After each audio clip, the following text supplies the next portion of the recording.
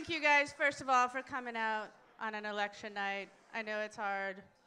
The results are unknown.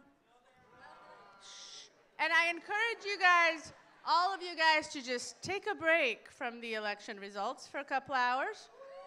We're here to uh, listen to stories and watch very lively speakers tell us all sorts of different stories around the theme of unknown.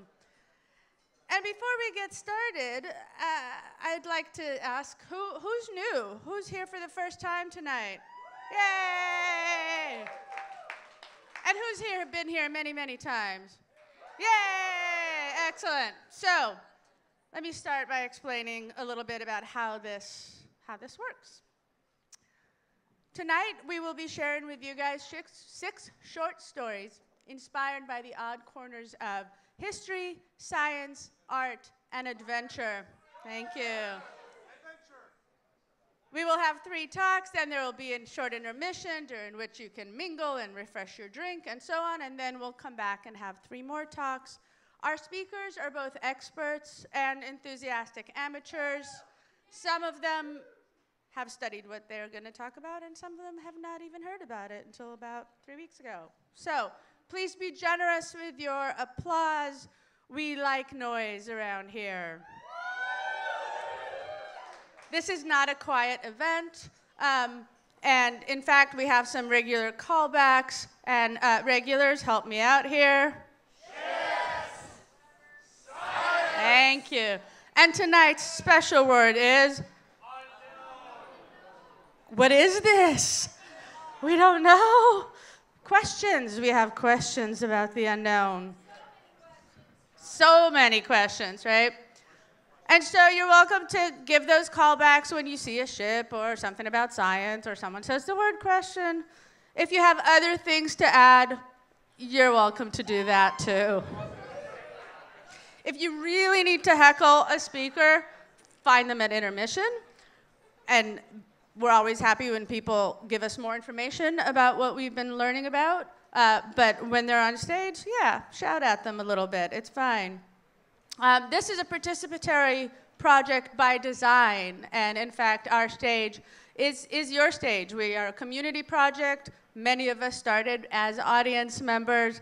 And if you have a story, if something tonight kind of sparks your, your interest or your fancy or reminds you of something, um, or later you get an idea for a cool talk, you can go to oddsalon.com slash speak, and there will be a button for submitting a pitch.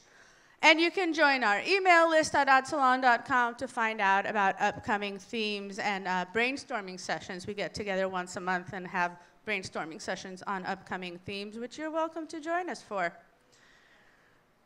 You do not have to put your phone away tonight, except for don't check on election results you can tweet and you can gram and you can go to all the regular places and share your ideas at all the usual places that are up on the screen behind me.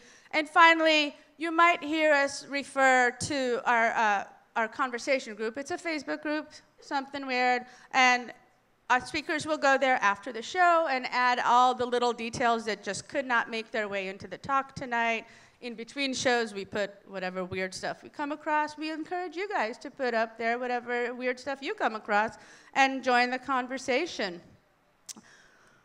But tonight, tonight is about the unknown, and I'm going to talk a little bit before I introduce our speakers. Um, when we talk about the unknown, we have different ideas that come across, and as I started thinking about this, uh, this topic, this theme, all sorts of directions um, came to, to my mind as, as in how I could go in framing the evening. And I didn't know which one to go with. So, so I had unexplored paths, and I had space, and I had uh, questions and writings, and I just, I just didn't know. And so I started thinking about instead of trying to figure out which sort of version of unknown I want to go to, I found myself thinking about our relationship with the unknown and how it makes us feel.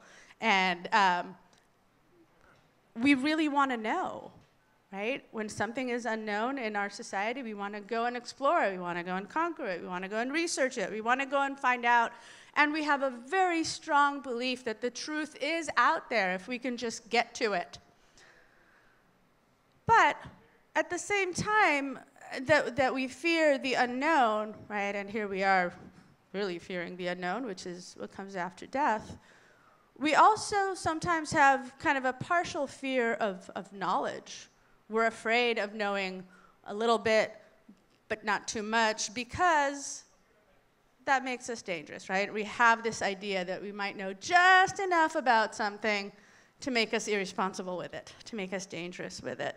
Um, or perhaps on a more positive note, it was Albert Einstein who said, uh, the more I learn, the more I realize how much I don't know. And so we have this ambivalent sort of relationship with, with the known and the unknown and kind of the balance between them. Uh, we also have the fear of the consequences of attaining knowledge. Here's the tree of, of knowledge uh, behind me, and you can see by the illustration of the, the tree of skeleton that there are some messages there about attaining, attaining knowledge.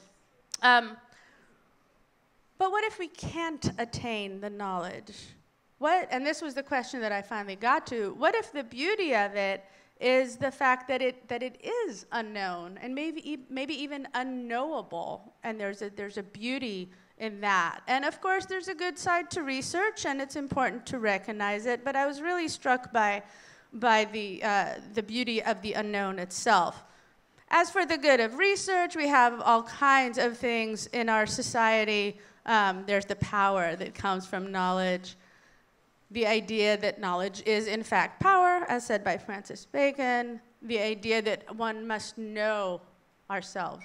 That was the motto know thyself, that that's the way to have a good life. Uh, and those things are, are, in fact, good, but sometimes we just don't know.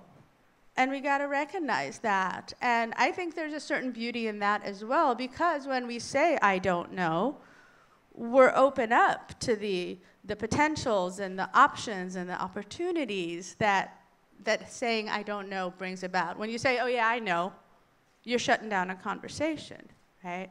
But when you say, I don't know, you're opening up um, to, to those possibilities. So tonight, we have six stories of things unknown.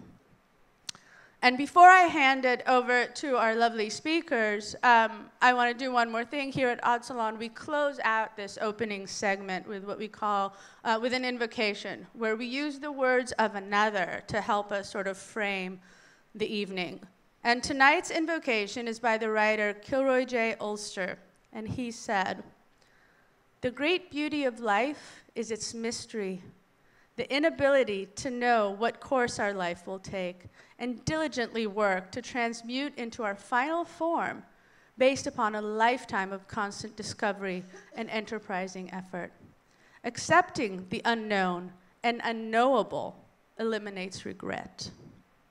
Thought that was a pretty good way to start.